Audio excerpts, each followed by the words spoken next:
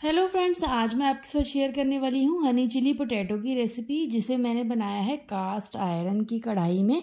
इसे मैंने ऑनलाइन मंगवाया था और ये कुक बीट कंपनी की कढ़ाई मैं यहाँ पे यूज़ कर रही हूँ। और इसका बेनिफिट ये है कि ये विदाउट एनी केमिकल है।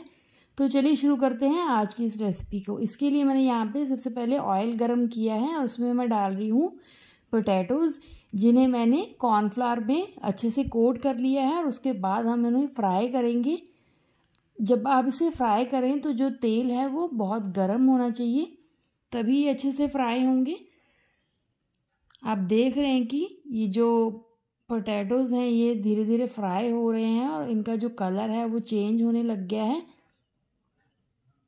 बस हल्का सा गोल्डन ब्राउन हमें करना है और इसके बाद हम इसे निकाल लेंगे।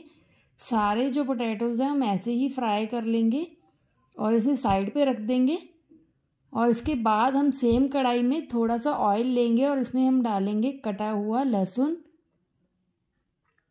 और इसे हम सॉटे कर लेंगे। लगभग आधे मिनट के लिए हमें इसे सॉटे करना है और इसके बाद हम इसमें ऐड करेंगे कटे हुए प्याज और कटी हुई लाल और पीली शिमला मिर्च। आप चाहें तो हरी भी ऐड कर सकते हैं। इसे भी हम अच्छे से सॉटे करेंगे। ज़्यादा हमें इसे सॉफ्ट नहीं करना है, बस हल्का सा इसे सॉफ्ट करना है। और इसके साथ ही मैं इसमें डाल रही हूँ जिंजर गार्लिक पेस्ट और कटी हुई हरी मिर्च।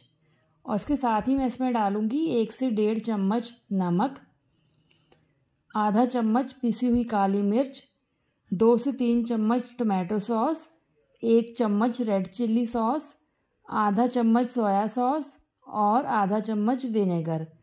और इसके साथ ही मैं इसमें डाल रही हूँ डेढ़ से दो चम्मच शहद। अगर आपके पास शहद नहीं है तो आप इसमें चीनी भी ऐड कर सकते हैं और इन सब चीज़ों को हम अच्छे से मिक्स कर लेंगे और इसके साथ ही मैं इसमें डाल रही हूँ कॉर्नफ्लावर स्लरी। यहाँ पे मैंने एक चम्मच कॉर्नफ्लावर को पानी में घोल लिया है और वो मैं इसमें ऐड कर रही हूँ और इसे भी हम अच्छे से मिक्स कर लेंगे। और इसके साथ ही हम इसमें डालेंगे जो हमने आलू फ्राई करके रखे थे। सारे जो आलू हैं वो मैंने इसमें डाल दिया और हम इसे अच्छे से मिक्स कर लेंगे।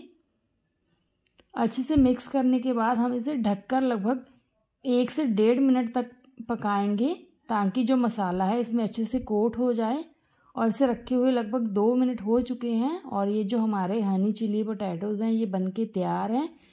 ये देखने में जितनी अच्छी लग रही है, ये खाने में भी उतनी अच्छी बनी है और इसे हम गार्निश करेंगे हरे धनिए के साथ। तो आपको मेरी ये रेसिपी कैसी लगी, मुझे कमेंट करके ज़रूर बताएँ और अगर मेरे चैनल पर नए हैं तो मेरे चैनल को सब्सक्राइब ज़रूर करें। Thank you.